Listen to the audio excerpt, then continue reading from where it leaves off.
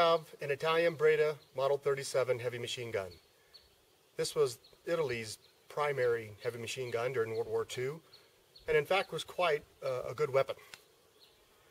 It was quite reliable, relatively simple, and uh, didn't need the uh, oiler like a lot of the other uh, earlier Hotchkiss guns or even its smaller brother here, the Breda Model 30. Now the story is told to me was this particular gun was captured uh, during World War II off the coast of Italy. The Italian soldiers were basically harassing a U.S. ship, firing upon it. So, U.S. ship swung its big guns around and lobbed a few off, which didn't hit the Italian soldiers, didn't hit the gun, but it did scare them off. So they then took a small boat, took it to shore, and retrieved the gun, basically to take it out of service, so it would no longer harass U.S. ships off the coast. And um, at that point, uh, one of the sailors brought it home after the war, and uh, then he sold that off to a private collector, who then uh, then sold it to uh, Dolf Goldsmith. So, quite the neat little story. Nice original CNR gun. So uh, let's check it out. Now to prepare the Model 37 for firing, first off, you've got two dust covers on the left and the right for the feed strip, feed slots. You can get your rear sight up. The charging handle is located on the right hand side here. Pull back, push it back to the front. It is an open bolt gun. You have your safety here, S and F. And when there's no feed strip in, you have a release lever here. And your basically your firing paddle here on the spades is right here. And down she goes. The tripod's got relatively simple controls. Your elevation lever here is for major elevation moves. You tighten that up. Traverse, loosen this. You've got stops on either side. You can tighten this up. You've got fine traverse adjustments here and fine elevation adjustments here. This lever here is loosened and then it allows you to to remove and install the gun onto the tripod. Let's tighten it up. This is your standard Breda 37 feed strip box. It holds 12 of the 20 round feed strips. This gun uh, originally is in uh, 7.9 Italian rebate. Um, this has been converted to 7.9 Mauser, basically 8 millimeter Mauser.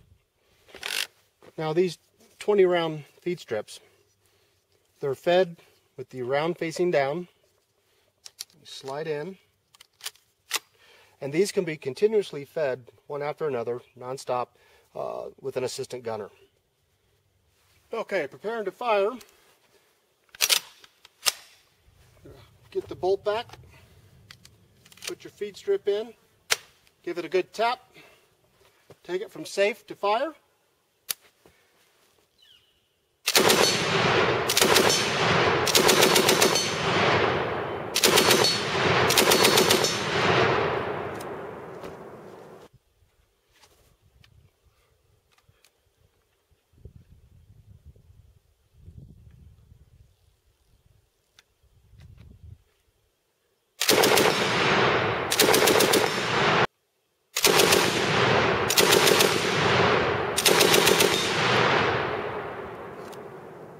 And as you can tell, this gun feeds the fired cases back into the feed strip.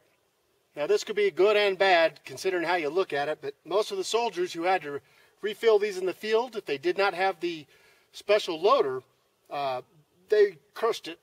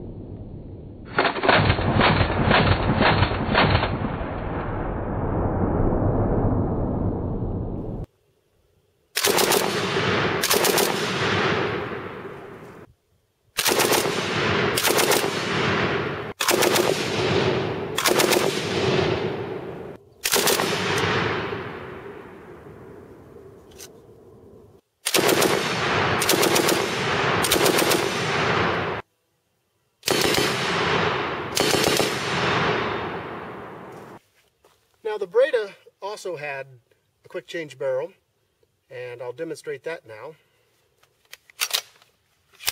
Bolts back. Lift up this lever.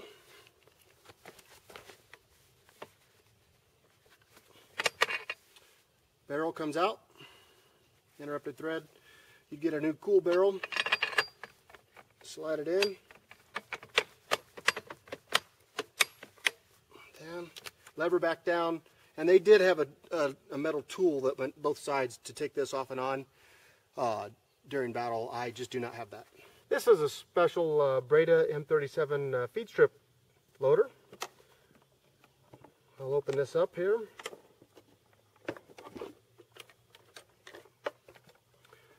Showing the loader inside. You've got the handle. Slips on.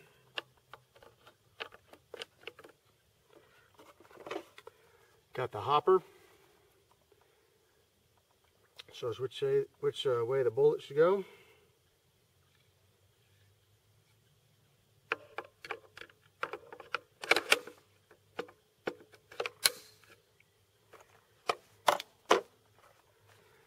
You got your rounds. You can load the hopper up.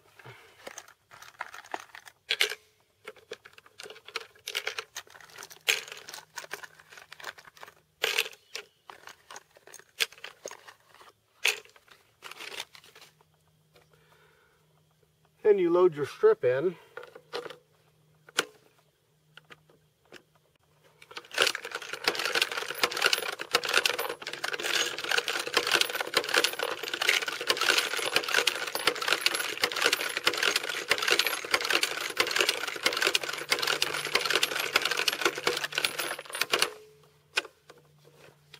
and it loads up fresh rounds.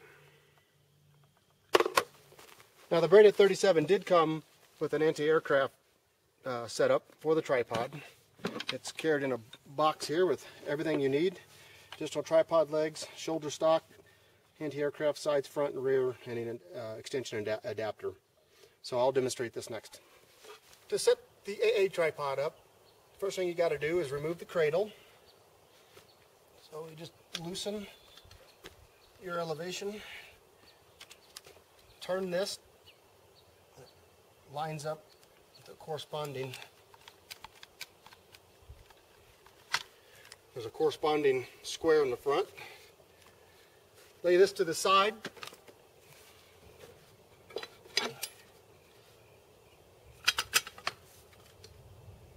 Put the front legs on.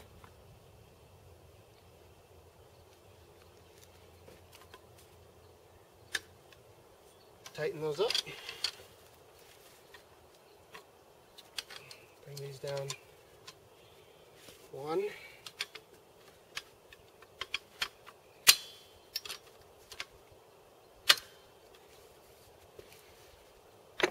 Get your adapter. Loosen this up. Two holes fit in two holes here.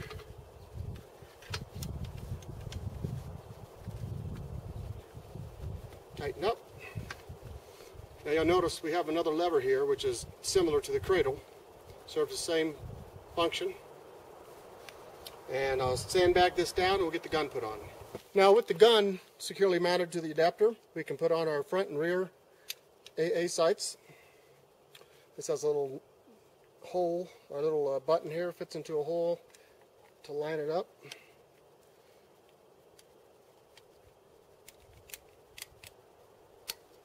Locks on.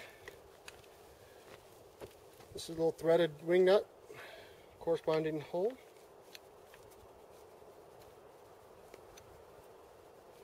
Now you've got your AA sights. And all we have to do now is put on the uh, shoulder stock.